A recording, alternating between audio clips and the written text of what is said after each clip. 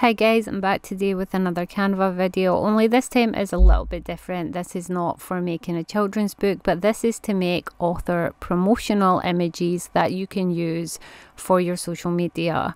Now this one I'm going to do for one of my novels rather than a children's book, but it is the exact same concept. You want to select the template for an Instagram post because that is the square one and it is pretty generic and goes on most platforms. Now, to uh, make book templates, Canva actually gives you an option. If you uh, upload, sorry, your flat cover file, the one that you would have created for maybe a Kindle, or maybe just created a cover file before you've made a paperback just to get the look of it. You want to upload that. You want to click on it so clicking on it as you see highlights it. You want to go to edit image and you want to go down to the Canva tool which is smart mockups. Now as you can see they do everything from laptops to phones to pictures all kinds of things that you can use to drag over to that book cover and it will insert it in the little space you see with the blue writing. Once you've done that, you would need to then download that as an image before you can use it in the next step.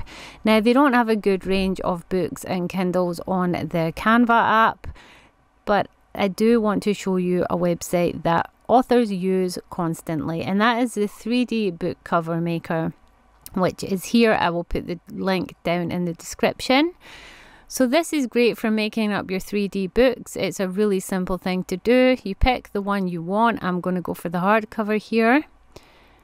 You go to next, you browse and upload your flat cover file or your Kindle cover file as I'm doing here. Click upload. Then you want to click next. I'm just showing you that it's uploaded it. This is what it looks like. Clicks next.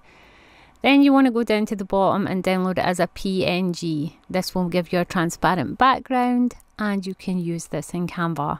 So you want to go back to Canva, I'm going to delete this here and upload your newly downloaded file which you'll find in your downloads and you can see it is a perfect little 3D book.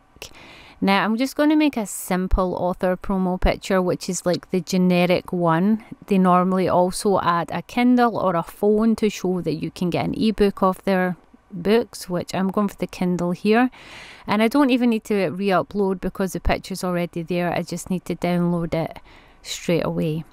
So I'm going to also upload that to Canva and add it to my page and here we have the generic hardbook Kindle combo that a lot of authors put on their promo pictures. Now as you can see the book has a shadow but the Kindle does not so I'm just going to go into the elements and type in shadow then I'm going to click on the graphics and pick one which is a similar shape to my Kindle. It's a bit dark so I'm going to bring down the transparency to make it lighter to match the other shadow, shrink it to the size of the Kindle, move it to the bottom of the Kindle and send it back one layer so the Kindle sits on it. Okay, so this is the generic sort of author promo picture. So we need a heading and for headings, I can never decide on where I'm going to put it or the font. As you can see when you move it around, a guide does show up to show you the optimal space for putting things on your image. I tend to try and stay within those lines. And here's me trying to figure out what I'm going to write. So the book title would be a start followed by my name. But I hate this font, so I'm going to try a few fonts. Now, when picking fonts, it's a personal thing. A lot of people match them to their actual um, book covers. I'm having a look at my brand kit that's created for my author name and trying some of those fonts. And I'm not really liking, even with effect, how basic and boring that looks. You want your title to be a little bit attention grabbing, I guess.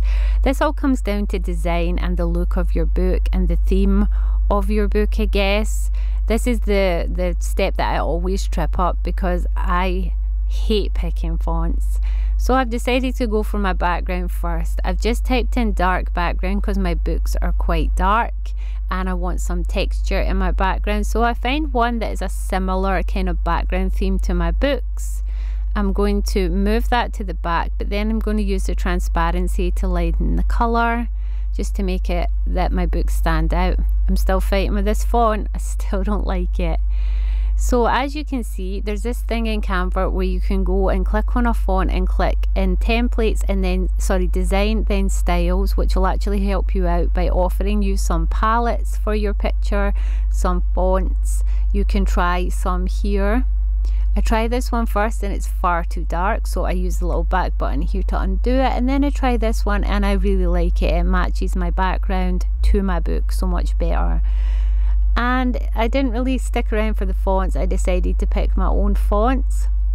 You can lose an entire day picking fonts on Canva but yeah I will try and make this quick so I tried a few fancy ones and all of them were fighting with my book. My book is quite busy and has quite a bold font itself so I decided simple would be better. For the time being I've picked this one because I'm spending far too much time fighting with fonts and I want to show you here that even when you have a text box you can separate out the elements by highlighting them and changing only those elements in your text box. So for example I've just changed the colour of half of my text box it's a bit light so I'm going to go back and change the color again and if you go down here you'll see Canva automatically takes your pictures and creates a palette for you using the exact colors in your picture and it makes it easier for when you want to match things like font.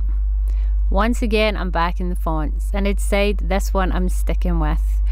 Okay, so now I want to try and position this in a place where it feels relevant to the books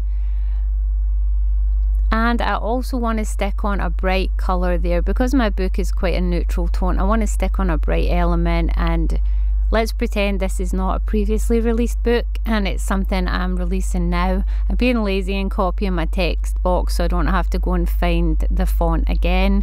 And I'm just going to type in that this book is going live on a made up date or I think I actually changed this to pre-order just for something to show you this is how to create an author promo image. So I'm putting it inside this little badge so that it stands out and it's like a call to action, like a a piece of news that I'm informing them for this book. Yeah, there I changed it to pre-order, but then I realized that was a mistake.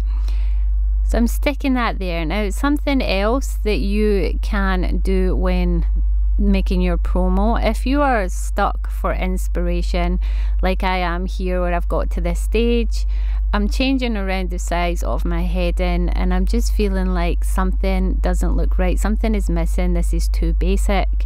Changing the headings moving around the wording isn't really making it look very polished and this is a basic look but I want it to be a bit more eye-catching. So I'm going to go to Google and I'm going to type in author promotion images and click images. And this will bring up some examples of some book promo. If you type in different similar searches you'll get different ones. And right away this one here is giving me ideas. It's showing that you can add smoke. He's put his website down the bottom and an Amazon sign. Simple little additions, but it's a really eye-catching. He's also made his title really bold. So I'm going to go and find some smoke because I like the idea and it kind of matches with the book covers I have. They have kind of smoky backgrounds. And I'm going to also find a smoke for the base so that the books are sort of sitting in that smoke as well as their shadows. I put it too far back so I had to bring it forward a layer and that immediately grounds my books and sort of makes them pop. I'm going to copy his idea and make my font a bright colour to match my badge and it's made a difference already. It looks a little more polished. As you can see they added their website and the Amazon badge so I'm just going to copy the exact same thing. I'm going to go and see what Amazon badges Canva has. They don't have a lot if you want the proper one, you can actually type in Amazon logo on Google Images and go to the Images tab and get a PNG of their logo. I've done that before, but I'm just for this video going to use that one. And I'm going to make a text box with my website so that I can position it on here. So I'm making my website font the same as my heading font, but just the thinner version so it's not as in your face and then I'm going to move everything up so I've got space for my website at the bottom. It just comes to adjusting and moving things a little. Make sure you also move your shadow. If things keep moving on you click off your page and click back on. Sometimes you're just stuck on an element that you need to click off of. I'm going to enlarge my website and I'm going to center it. Canva is telling me with the little guides there that that was centered. And I'm going to move my Amazon badge to my Amazon logo, sorry, to my little badge here. Okay, so that's the sort of the elements I want on here. I just want to position them, make them a little bit better. And I want to show you here that you can you have control of your fonts individually within your little text box here. There are many um, pre-designed fonts on Canva already that you can go in and choose from if you don't know what to look for, what to use.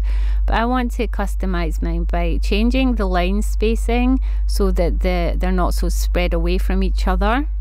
You can also um, change how the words are anchored together this bit is a bit of playing around. As you can see, it's now overlapping the top one. I like it, but it's a bit too much. And it just feels like my name is now overtaking the title. I've shown you here, you can change the spacing between the letters too.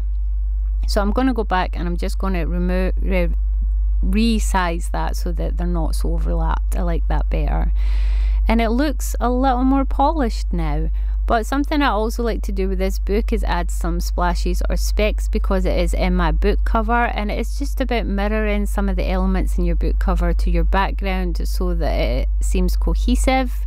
I'm going to add some specks and using the specks I'm going to make them a little bit bigger and I'm going to recolor them down here using the palette created by my own photo and move them to the back. So they go behind everything and there we go. I have my author image. I can now download this as a PNG and use it on all my social media and it took us about 10 minutes to create that from scratch. So I hope this was helpful and if it was let me know and we'll make more in the future